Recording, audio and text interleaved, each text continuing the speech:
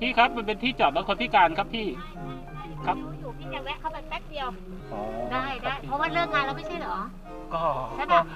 เลิกงานแล้วเนาะ ที่จอดรถคนพิการมันมันไม่มีเวลาเลิกงานครับพี่ ได้ได้ได้เดี๋ยวพี่ขยับให้ครับพี่รบกวนด้วยครับ ฮ่าคงจะดีนะ